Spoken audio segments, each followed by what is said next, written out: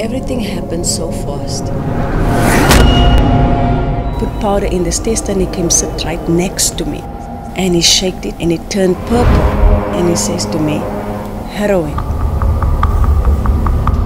The only thing that went through my mind is that they're going to kill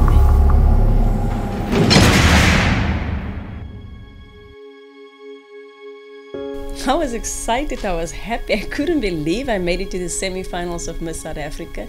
So for me, everything was just going well. I had a clothing store with my boyfriend then in Carlton Center. He had this friend that would come seldom to the store, but I started looking at him because the way he dressed. So he started speaking to us and saying, no, he get his material in Bangkok in Thailand. And that's how I ended up in Thailand. When I was there, Jackson, that was my boyfriend's friend, he contacted me and he asked me if I could bring some engineering books from his brother in Thailand. I said, Not a problem, tell your brother to bring the books. His brother came, brought the books. It was A4 hardcover engineering books, four of them. I just paged through one and didn't interest me, put it right back in the bag. The day that I had to return back to South Africa, they had a random check at the airport. As they were going through my luggage, and just when it got to this engineering books. He took one of them and he just put a small pocket knife in the spine of the book. And then when powder came out and they just whisked me away immediately. And he showed me a poster. And on the poster it was written heroin, death sentence. So when I saw that,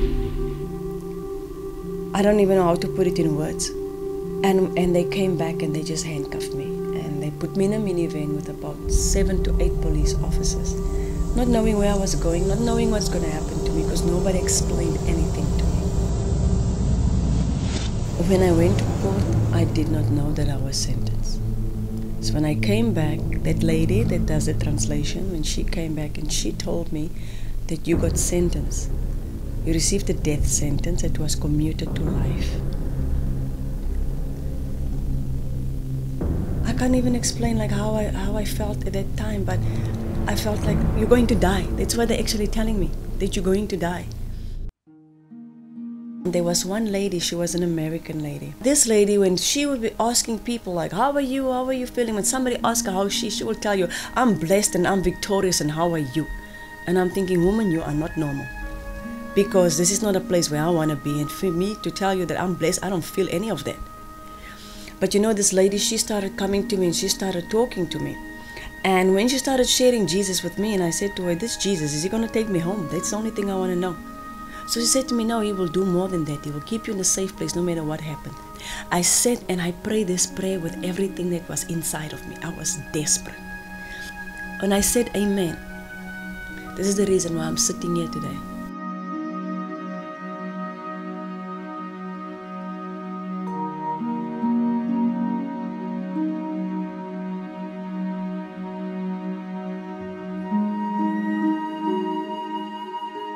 When my friend and her husband came to come and take my daughter and she was telling everybody in Thai, Chanpai Africa Thai, I'm going to South Africa. Just 15 minutes before the visit and my daughter looked at the prison guard and she looked at me and she told the prison guard, Chanpai Pai Africa Thai Lao.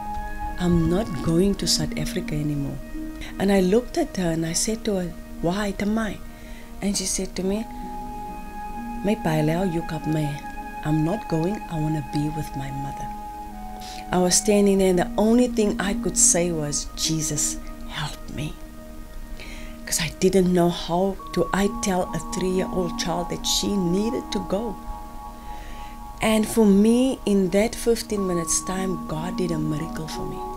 Because there's no other way something in 15 minutes can happen the way my daughter's heart was changed when she looked up to me and turned to me and said to me, Okay, chan pa Africa tai, but I will go to South Africa, but you must come soon. After five years in prison, I wanted to submit my Royal King's Pardon application, so I got documents from my family, from my friends, writing to the King of Thailand to ask for leniency and mercy on my behalf. After three years, I received an answer back from the King of Thailand. So by then, I was already eight years in prison. And when she said to me, the King is rejecting your pardon, it was like lights went out. It's like strength left me. I was so disappointed. I could not believe that my pardon was not granted. And then I started getting so angry and so upset. I felt so sorry for myself. And I could hardly speak because I was so exhausted, hyperventilating the whole time. My mind was running 24 7. I couldn't control my mind, and that scared me. And this lady came and she looked at me and she said to me, Vanessa, you're laying here giving up on life. You forgot what you promised your daughter. You promised her that you're coming home, and you're laying here and you're giving up. Depression turned me into a vegetable. And as I went on my knees and I just cried and I said, Lord, please forgive me for doubting. And what came to me in my spirit is that you trusted in men and not in me. Your confidence was in the people, the high profile people that written on your behalf to the king of Thailand. And you were so confident that you will get your pardon because of the people that wrote on your behalf, Vanessa. So when I started making decision to forgive, my healing started to break forth. I didn't realize that anger, hatred, unforgiveness can destroy a person. It nearly killed me.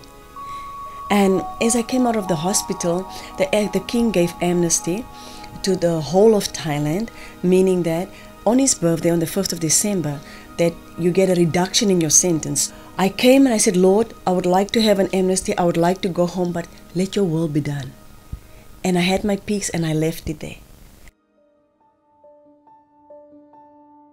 I had a release date on the 30th of October 2010, one day before my daughter turned 16. And the day when I walked out of those gates and I was in the plane back to South Africa, for me, I could not believe it. That I'm on my way home. And when I asked the air hostess, How far am I from South Africa? And she said, Two hours. I went again, I asked How far am I? And she said, One and a half hour. And I went back to the air hostess, I asked her, How far am I? And when she said, "In half an hour, I felt like I was going to have an anxiety attack. I started hyperventilating and I, I taught myself how to control my breathing. So I just started praying and then I just controlled my breathing and I calmed down. But when that plane landed on South Africa's soil, I cried because I made it home alive. It was a challenge for me. It wasn't easy when I returned back to South Africa. But I thought my work in prison was done when I left prison, that I have to start with secular work and I have to find a job. But when God told me the prison was your training ground, now you're going to walk in your ministry.